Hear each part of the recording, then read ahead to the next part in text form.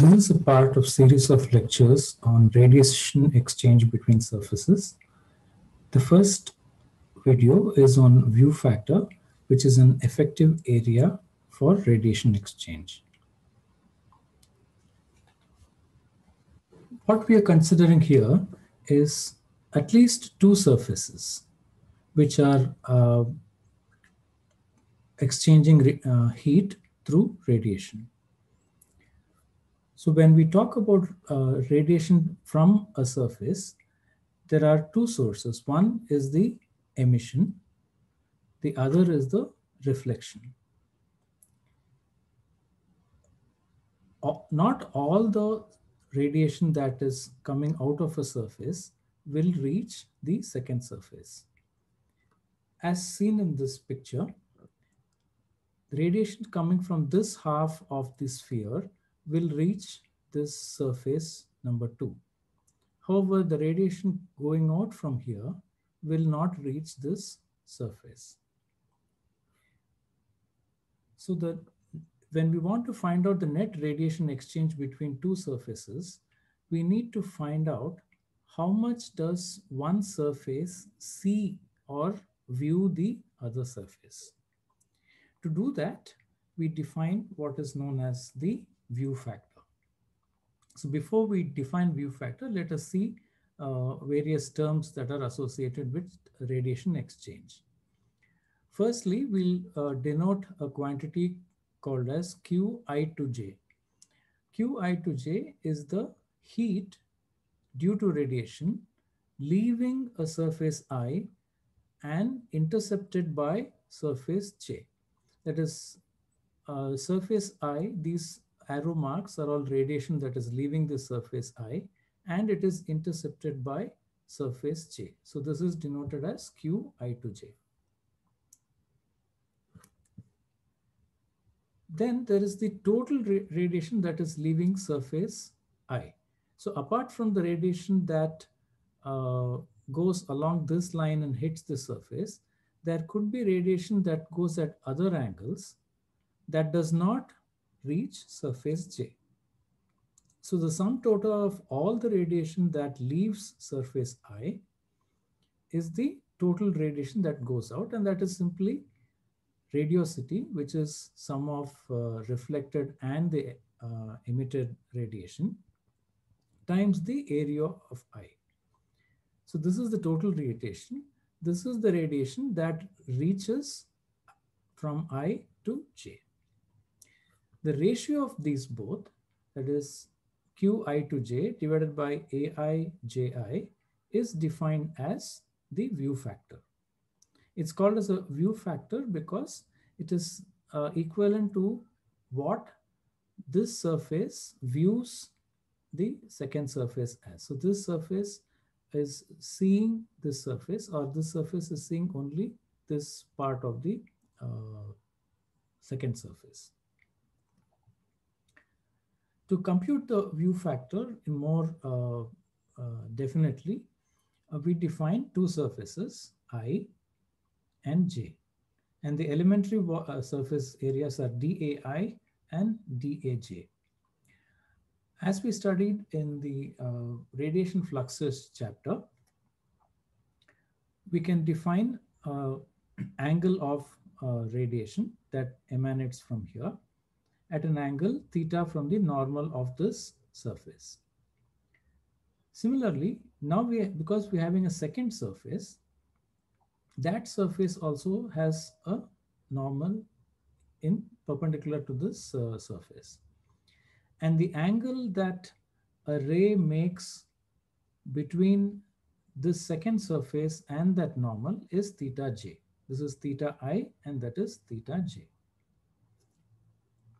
What we want to compute is dqi to j. That is a fraction uh, elemental uh, heat that goes from i to j, which is nothing but radiation intensity now it is E plus R. That is E is the emitted plus R that is reflected coming out of I cos theta I DAI. So this is all coming from the uh, definition of radiation intensity times the solid angle. The solid angle here is the solid angle d omega j, j minus i. So that is the receiving here is j and uh, emitting is i. So this d omega i is the collection of um, uh, solid angle in steradian through which this uh, rays pass. And this is, uh, when we compute the area, we need to see the area that is perpendicular to these rays. So therefore, the projection of DAI, DAJ onto this angle is nothing but DAJ cos theta. So this area is DAJ cos theta J. And we know that d omega can be written as daj cos theta j, that is this area, divided by r square. r is the distance between these two uh, surfaces. So d omega ji is cos theta j daj by r square. And therefore, we have this entire expression for dqi to j. Assuming that this surface and all the surfaces are diffuse. So the view factor is defined only in the case where the surfaces can be assumed to be diffuse. So if it is diffuse, then I, I of i, this uh, I of i is not a function of theta. And therefore, when you integrate it, it is simply equal to ji by, uh, or ji is equal to pi times i, or i is equal to j by pi.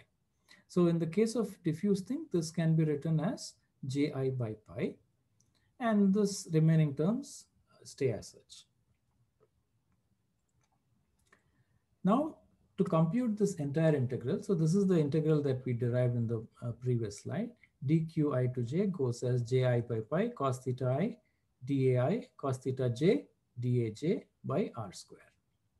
And this we have to integrate over all area AI, all area AJ, and R is the distance between that particular area AI and area AJ with cos theta i and cos theta j. So this is Q I uh, Q I to j. So coming back to the uh, view factor definition, view factor is nothing but Qi to j by AI Ji. So Ji is here. So uh, this uh, Qi divided by AI Ji is nothing but 1 over AI of this entire integral. So given two arbitrary surfaces, that is their geometry is known, we can uh, we can evaluate this integral and compute the view factor. Computing the view factor is uh, for uh, arbitrary surfaces is not part of this course, but we'll be using some simple relationships. Some of uh, identities that we can use in view factor are as follows. Consider uh, the view factor definition for Fij. So Fij is 1 over Ai, dai, daj, cos theta i, cos theta j by r square. Now fji, that is from j to i, is simply swap the indices i and j, and you will get, see, i becomes j, and j becomes i. But recognize that uh, these terms can be swapped. So if we swap these terms, a, ai, uh, comes outside, and cos theta and cos theta are commutative. So this is swapped. So this integral is identical to this integral. So therefore we can write, so because these two integrals are equal, we can write fij ai, fij ai equals fji aj, fji aj. So this relationship is called as the reciprocity relationship. Now consider an enclosed surface.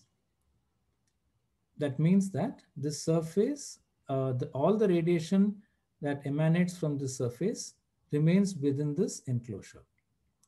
So there are several surfaces. Each of them has some temperature or some property.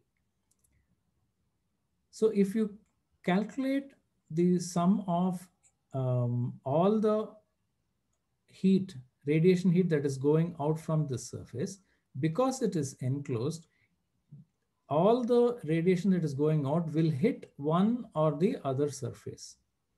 So if you take this surface, all the radiation that is going out will hit this, this, this, this, or this. So given that, we can say that sum over j of Fij for any surface i, if you sum over all the surfaces j,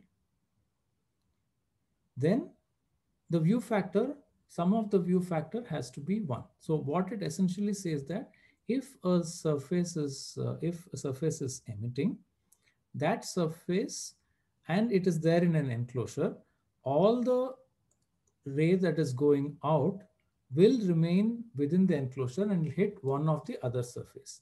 Note that here I includes, uh, J includes I as well because this surface could have been curved. If this surface is curved, the surface sees itself. So J is over all the surfaces, including the surface I. So when you do a summation rule uh, of all the surfaces J of Fi, it is equal to 1. So there are two important relationships in uh, this uh, view factor, the reciprocity and the summation rule. Now, uh, as I said before, calculating view factor for arbitrary geometries, even for simple geometries is very difficult. It's not a straightforward calculation. But what we'll be doing is to just show two simple calculations. And uh, for the rest, we'll use standard tables and charts. So consider a concentric uh, cylinder or concentric pipe, uh, concentric spheres. So in this case, the outer surface of the inner sphere is radiating and inner surface of the outer sphere is radiating. So they're facing each other. So we can say that there is this radiosity of surface 1 is J1, radiosity of surface 2 is J2. If we ask the question, what is F12? That is, what is going out from 1 that reaches 2? if you see surface one, which is a sphere, none of its surface sees itself. Right? So anything that goes away from the surface cannot reach any other part of the surface. That is, surface 2, anything that goes from surface 2 will hit only surface 1. Sorry, anything that uh, leaves surface 1 will hit only surface 2. Anything that leaves surface 1 will not hit surface 1 itself. It is not seeing itself. Therefore, F12 is identically 1. The corollary is that the surface does not see itself. Therefore, F11 is identically 0 because surface 1 cannot see itself. On the other hand, surface number two can see itself like a, a, a, ray emitted here can reach here, here, here, and so on. So the surface two, part of this radiation emitted from surface two hits surface two itself. So therefore, we cannot make any direct conclusion about surface two, uh, the value of F22 or F21 from uh, just by inspection. However, by using this and the summation rule and reciprocity rule, we can make some simplifications. So from the reciprocity rule, we have F21 times A2 is F12 times A1.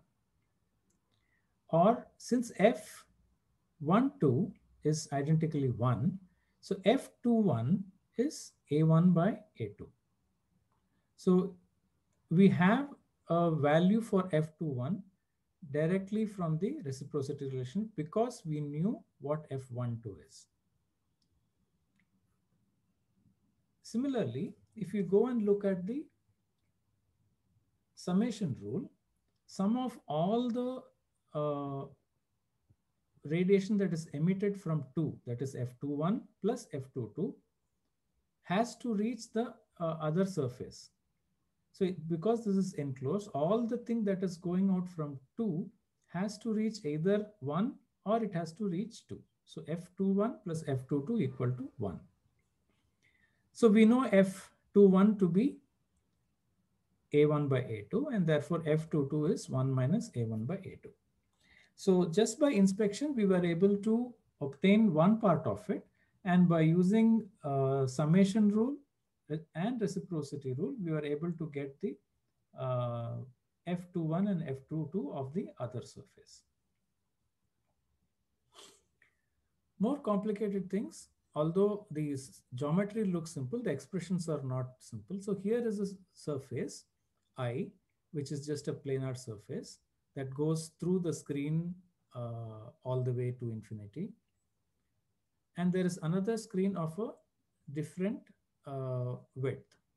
So this is of width W1, Wi, J is of the width Wj, and they are separated by length L. So if you define capital Wi, which is nothing but a normalized small wi by length, and capital Wj is small wj by L, then Fij in general is given by this expression. So we are not going to see the derivation of this, but just to tell you that uh, you have to use relations such as these from the tables or there are charts uh, from where you can uh, use these values and compute the corresponding Fij. To summarize, this was about view factor.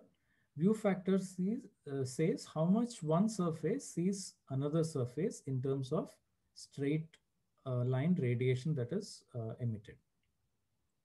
It is a, a convenient way uh, to estimate radiation exchange between surfaces. We'll see more um, examples in our tutorial class. And finally, view factor for only very simple geometries can be obtained by inspection and by summation rule and uh, uh, reciprocity relationship. For others, we have to use tables, charts for complex geometries. Thank you.